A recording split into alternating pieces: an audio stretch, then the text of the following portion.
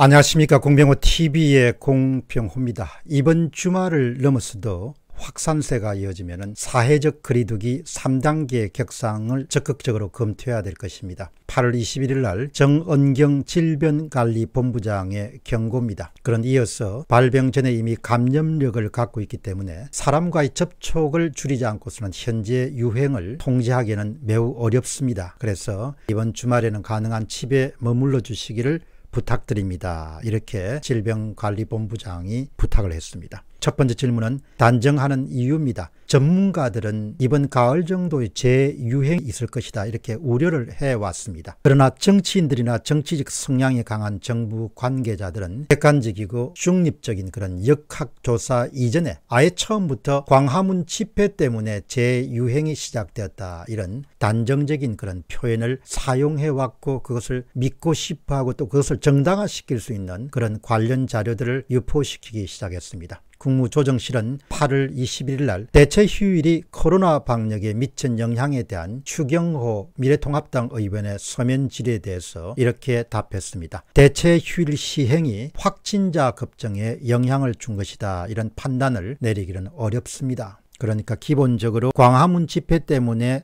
재유행이 발생했지 대체 휴일, 임시휴일은 지장이 없었다는 것입니다. 국무조정실은 그러면서도 연휴 시작 전부터 14일부터 국내 확진자 발생 수가 급격히 증가하기 시작했고 이후에 15일에 서울 성북구 사랑제일교회와 광화문 집회 등에서 확진자가 폭발적으로 증가하면서 전국적으로 확산 중에 있다. 이렇게 자신들의 입장을 옹호하는 자료를 제출했습니다. 한번 살펴보시기 바랍니다. 확진자 일별 통계는 그동안 두 단위를 유지했습니다. 많아야 30명에서 한 50명 정도였습니다. 그것이 세 단위로 처음에 진입하는 것이 8월 13일입니다. 103명입니다. 그리고 8월 14일 날 166명, 8월 15일 날 279명입니다. 그러니까 이미 감염이라는 것은 잠복기를 거쳐가지고 8월 13일, 14일, 15일에 이미 비상하기 시작했습니다. 광화문 집회는 8월 15일 날 열렸습니다. 광화문 집회 또한 잠복기를 거쳐가 그 다음 비상하는 그런 현상이 나오게 될지 아닐지는 지금 두고 봐야겠습니다.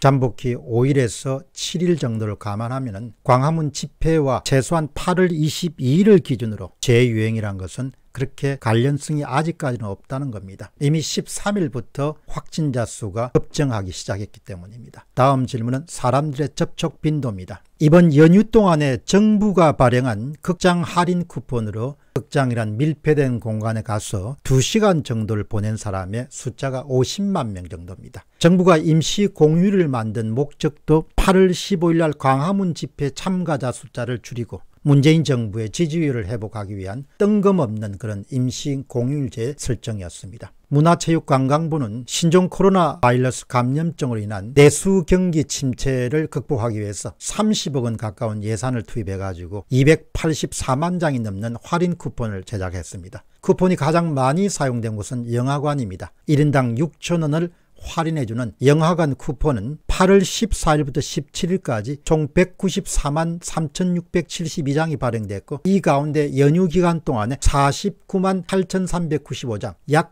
49만 8,395장이니까 약 50만 장에 실제로 사용됐습니다. 여기에 29억 9,037억 원, 약 30억 원이 투입됐습니다. 숙박 시설에는 3만에 4만원 정도 할인해주는 쿠폰은 같은 기간 동안에 89만 8,404장이 발행됐고 이 가운데 11만 688장이 이미 사용됐습니다. 박물관에서는 1인당 2천원 할인해주는 쿠폰은 지난 14일부터 그리고 양일간에 걸쳐서 272장이 발행됐고 107장이 사용됐습니다. 미술관에서는 1인당 3천원 할인 쿠폰이 같은 기간 동안 35장이 발급됐고 22장이 실제로 사용됐습니다. 가장 중요한 것은 지금부터 여러분을 소개드린 해수욕장을 방문한 사람들입니다. 전체 해수욕장 관광 인구수는 2019년 7월에 대비해서 2020년도 7월에 6.71%가 감소했습니다.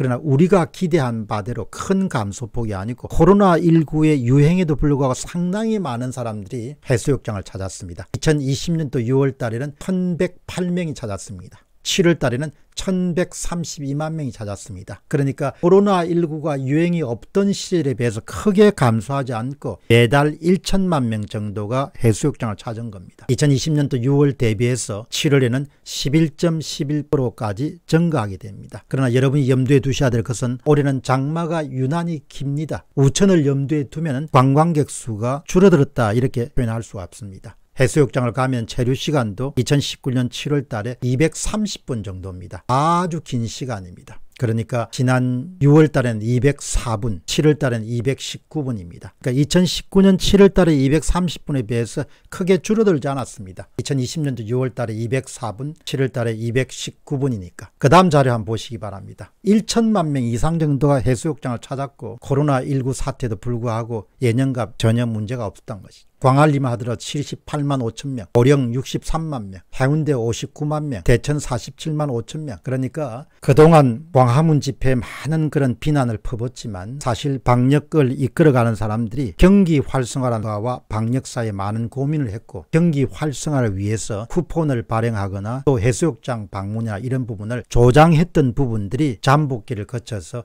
13일부터 폭발하는 그런 상황이 발생하지 않았냐 그렇게 생각합니다. 앞으로 정확한 증거는 역학조사를 통해서 밝혀지겠지만 제가 거듭 말씀드리고 싶은 것은 정치적 목적으로 코로나19를 악용해서는 안 된다는 것이죠. 특정 집단과 특정 인물을 박해하기 위해서 그 사람들을 벼랑 끝에 내몰기 위해서 역학조사를 거짓으로 꾸미거나 조작하거나 이렇게 해서 여론을 선동하거나 이런 일은 절대로 있어서는 안 된다는 이야기죠.